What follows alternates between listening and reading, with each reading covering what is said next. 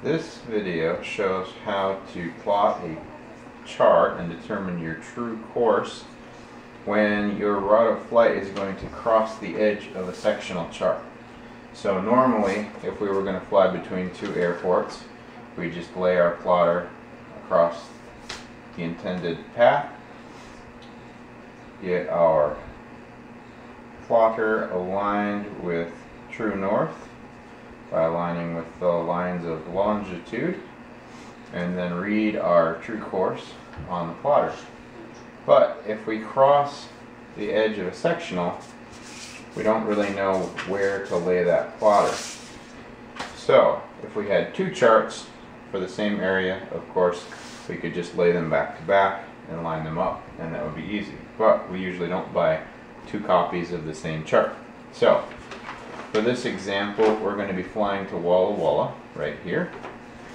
And we are going to be flying from Ritzville.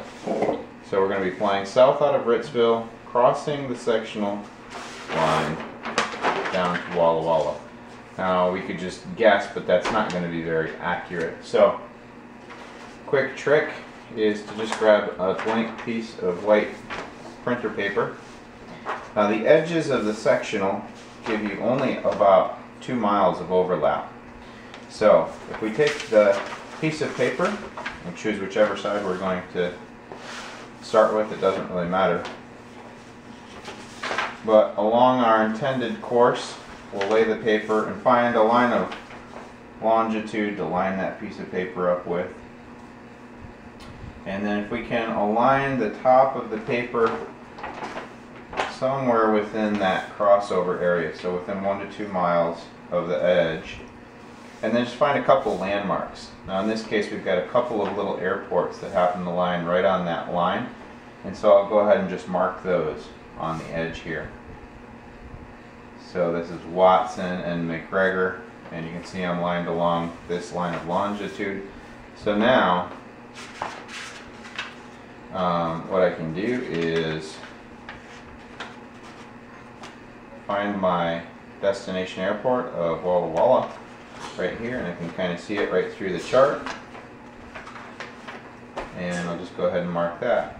So there's my destination.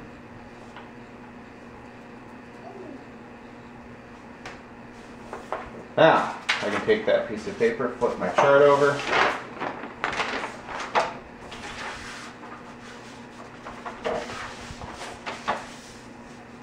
find my same line of longitude, get my orientation right, find my two landmarks that I happen to line up here, in this case my two airports, get them pretty well lined up, and now I have extended my sectional chart, and I can see my destination.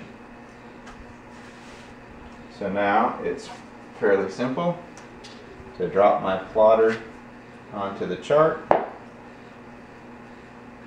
strike my line and I can even measure my distance. In this case about 61 nautical miles. You can see where that line is laid on the chart and I can come right back over here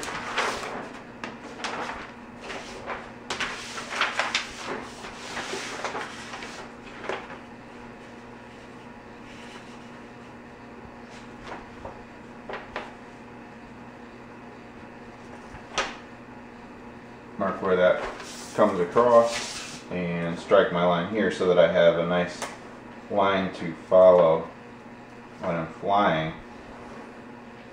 I can look out the window and use pilotage to match up where I am on the chart. So that's how you can easily mark a true course when your desired route crosses the edge of a sectional and it happens to be on the back side of the same sectional chart.